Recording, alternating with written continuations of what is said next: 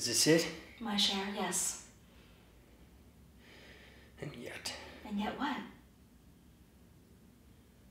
I was watching you very closely. And I do believe I might have seen a spot of petty larceny. You did. And what form did this larceny take?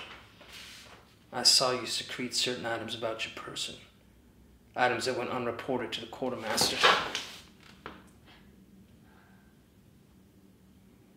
Scandalous. You concealed that like a cheap conjurer. How would I do that? Charles, I don't need you here. The English will kill you. Then kill me they must.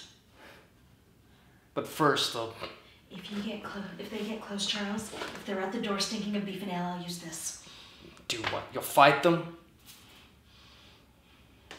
Look, man, I- We should just go. We should just leave.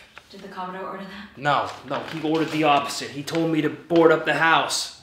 Last line of defense, prepare for a siege. Lady, if the English come, this house will fall.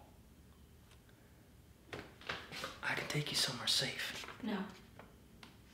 If we don't, I said no, Charles. Lady, I don't understand. I can't follow this order. You The have, you have no choice. It's your Commodore's order. Then he's wrong! Charles, if you lay a hand on me,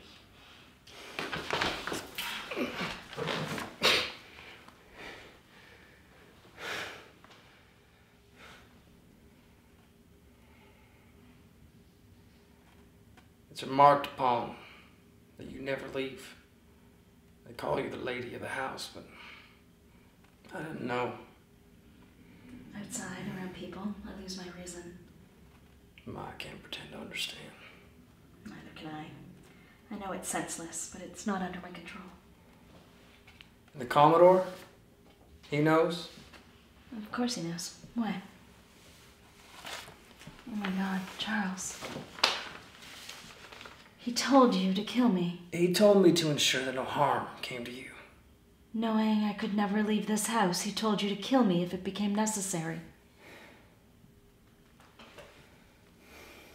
You were disobeying your captain. Why? I couldn't hurt you or see you get hurt. I couldn't.